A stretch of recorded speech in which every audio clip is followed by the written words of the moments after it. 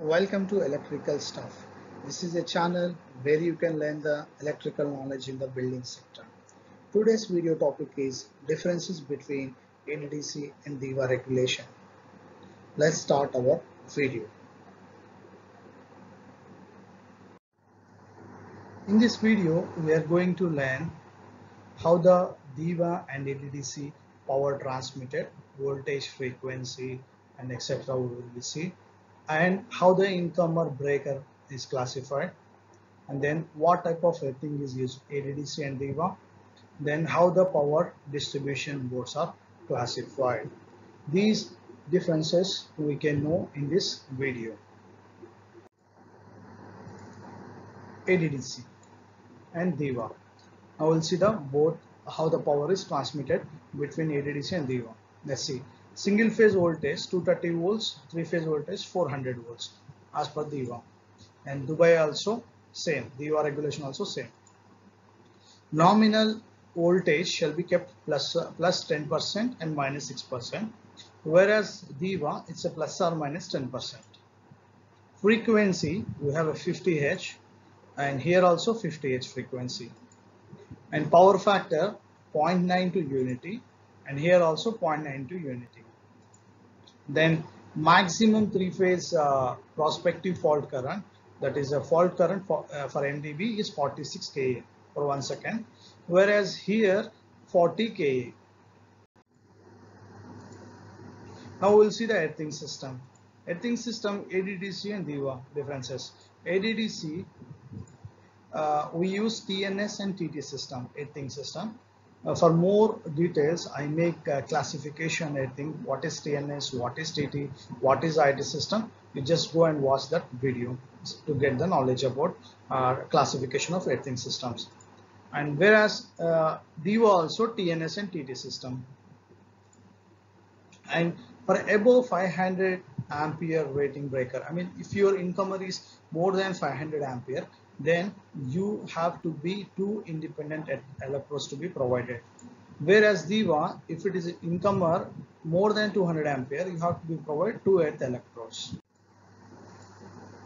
Incomer, ADDC, ADDC and DEWA. In the ADDC, incomer is three pole. ACB should be three pole. Whereas DEWA, ACB or MCCB are four poles and all panels should be ADDC or ADQCC approved type test panels. So your panel must and should approve from the ADDC and ADQCC. Otherwise, they are not accepted. Whereas DEWA, if it is uh, type tested, listed man listed type test uh, uh, like a DEKRA and etc. They are there. So if if the IEC 61349 is compliant, eh, then they are accepted changeover switches. Change changeover switches nothing but ATS ATSs are four pole for a uh, three phase circuit whereas two poles for the single phase. In the DEWA also it's the same. Distribution boards. Yes the major differences between ADDC and DEWA is the distribution boards only. The distribution boards ADDC and DEWA if you see if you look at the ADDC 12 way single phase 42 way three phase so if, if it is a single phase uh, distribution mode 12 ways, three phase 42 ways.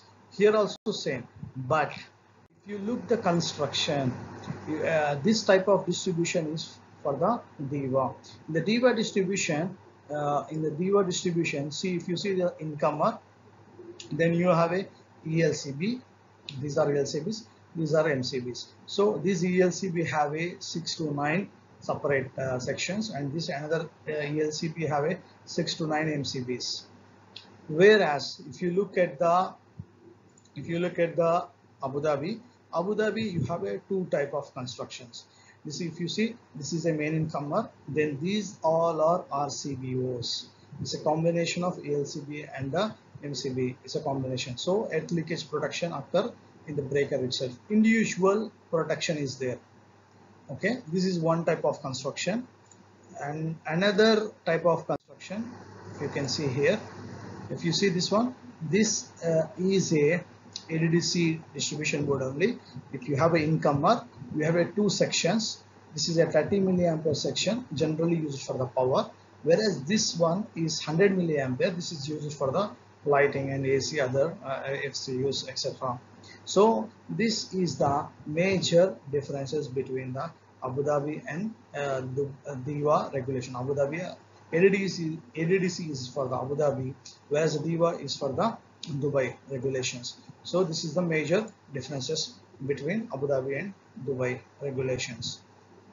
So in the, if you see this one this is one section. So these all are fed from the one ELCB and you see this one separate section. These all are fed from another ELCB this is how it is classified. Now we will be see another uh, differences lighting circuits.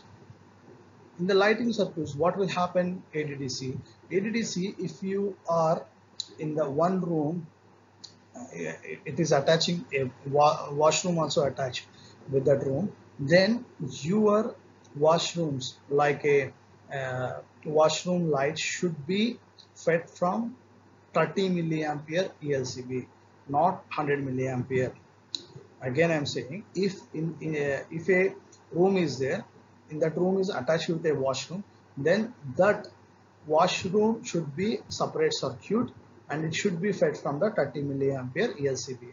Whereas a general room lighting, it should be 100 milliampere ELCB.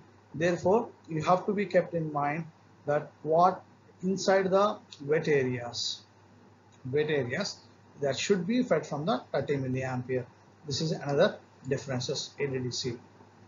Whereas a fan coil units, the used it is uh, above the fall ceiling area so it can be fed from the 100 milliampere RCD there's no issues whereas the DEWA uh, it doesn't matter it's all light should be fed from the 100 milliamperes ELCB so uh, I'm, I'm, showing you this is if you see this one this is the washroom in the washroom lights these lights should be fed from the 30 milliampere RCD ELCB these are the few differences between the Abu Dhabi and Dubai regulations. So I hope uh, you enjoy the video. If I miss any other uh, major uh, points, just type on the comment section and timely manner I'll be further differences I'll be uh, make another video. Thanks for watching. Good day. Bye bye.